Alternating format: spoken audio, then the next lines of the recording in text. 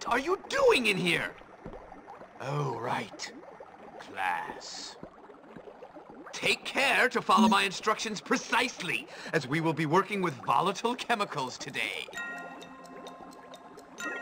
Good job. Careful! Young man, stop daydreaming.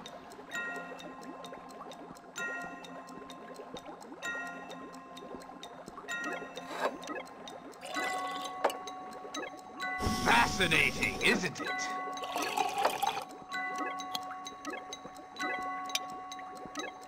Good work. You have a future in chemistry.